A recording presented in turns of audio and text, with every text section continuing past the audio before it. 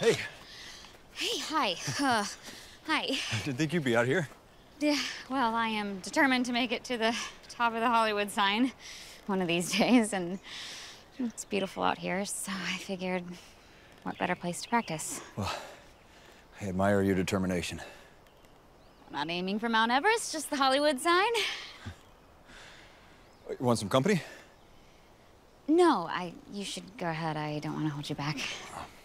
In a hurry. We take it slow. See where the path takes us.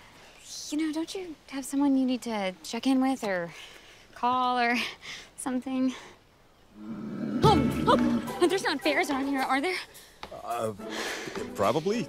We're up in the mountains. You know what? Maybe some friendly company isn't such a bad idea. That's okay.